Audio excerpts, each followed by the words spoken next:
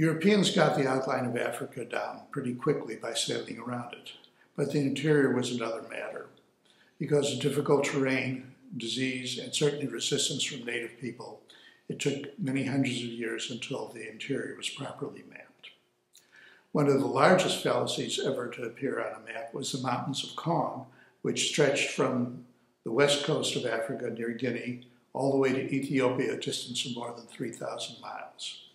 They were first on a map done in 1798 by James Rennell, who had been working with explorer Mungo Park. Park worked mostly in the Guinea area, and there were some low hills there, which conceivably could have been foothills of larger mountains, but no European really knew. Nevertheless, the mountains of Kong appeared on Rennell's map.